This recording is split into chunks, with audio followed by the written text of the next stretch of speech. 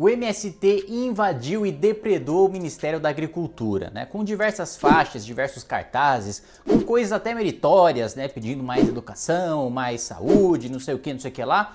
Mas o primeiro ponto é o seguinte: não importa o que você está pedindo, você perde toda a sua legitimidade a partir do momento que você parte para a violência. Né? Os fins não justificam os meios. Né? Não, você pode estar tá lá pedindo a paz mundial, você pode estar tá pedindo o fim da fome. A partir do momento que você invade uma instituição pública, uma instituição privada, parte para a violência, parte para a depredação, depois gera custo, principalmente para os mais pobres. Vamos lembrar que no Brasil é um país em que o mais pobre paga mais imposto porque imposto é baseado no consumo. Então depois todas as obras para reparar o Ministério da Agricultura, todos os faxineiros que vão ser utilizados para limpar o Ministério da Agricultura, toda a estrutura vai ser paga com o dinheiro dos mais pobres em razão de um ataque de vandalismo do MST, que aliás tinha alguns cartazes com propostas meritórias, mas tinha outras também não tão meritórias assim, né? Pedindo é, o socialismo, é, defendendo aí uma ideologia assassina, genocida, aí que matou milhões de pessoas é, basta pegar qualquer livro de história para entender o mal que o socialismo e o comunismo causou no mundo. Aliás, nunca houve nenhuma implementação de regime socialista ou comunista sem que,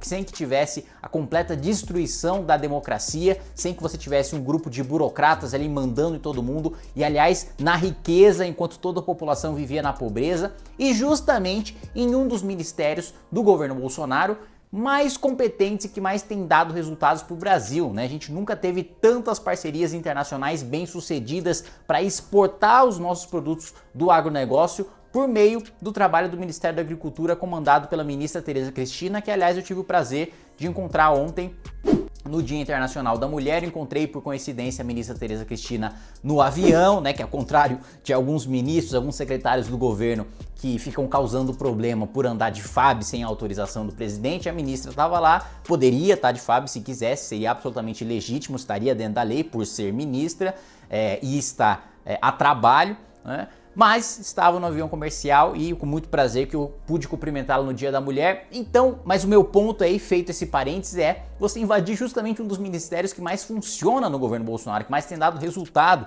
representando o agronegócio, abrindo portas do agronegócio brasileiro para o mundo inteiro. E você tendo uma invasão dessas e que vale lembrar e aliás, esse é um dado interessantíssimo quando a gente fala de debate de reforma agrária, de regularização fundiária no meio agrário e de é, movimentos sem teto e movimentos sem terra.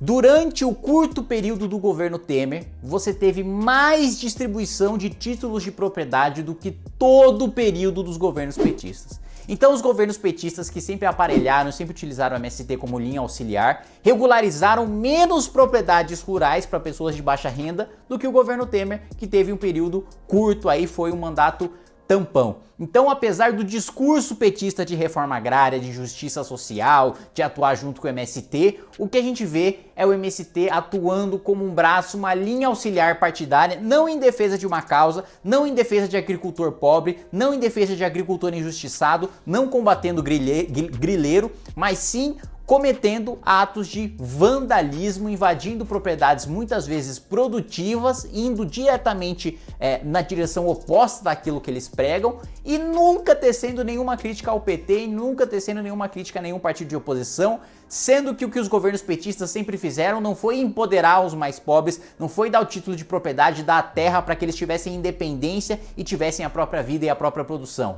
O contrário, Sempre que os governos petistas fizeram foi ter esses movimentos na mão, nunca dar o título de propriedade para eles, porque a qualquer momento o governo poderia tirar aquelas terras públicas das mãos é, é, desses agricultores ou desses movimentos e sempre tendo esses movimentos nas mãos. Né? Infelizmente, muita gente pobre, muita gente é, sem condições, muitas vezes sem saber ler, sem saber escrever, sem ter completado o ensino médio, o ensino fundamental, sendo utilizado de massa de manobra e sendo expulso dessas terras porque é, não teve o título de propriedade garantido, não teve a dignidade de ter a própria propriedade para trabalhar e garantir o sustento da própria família. Então, meu completo repúdio a essa ação do movimento do Sem Terra e minha, meu apoio, minha solidariedade ao Ministério da Agricultura que vem fazendo um excelente trabalho. Vocês podem ter certeza que a resposta do parlamento para esse tipo de atitude vai ser duríssima. Nós já temos em tramitação avançada aqui uma lei para enquadrar movimentos como movimentos sem terra como movimentos terroristas. A partir do momento que você junta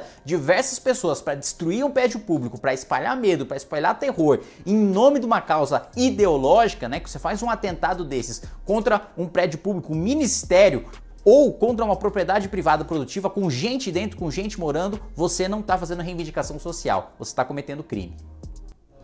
E para você que ainda não comprou o nosso novo livro aqui pela editora Record como um grupo de desajustados, Derrubou a presidente, MBL A Origem, está disponível em todas as livrarias pelo país. Um capítulo eu escrevo, outro capítulo Renan escreve, tá muito legal, muito divertido, um sucesso de críticas. E se você quer comprar online, loja.mbl.org.br já tá lá, já tá disponível para você que quiser. É isso aí. Compre o livro que está muito maroto.